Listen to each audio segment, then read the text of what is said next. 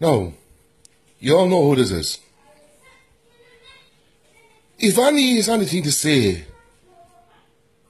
in your heart or in your mind, will you do Paddy Joe a favour?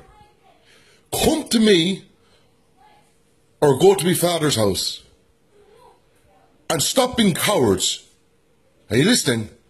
Anything you to say to me anymore, don't be pulling up to my father or anyone like that and ask, telling him what I said wrong, what I didn't say wrong. I think you know who this is going to.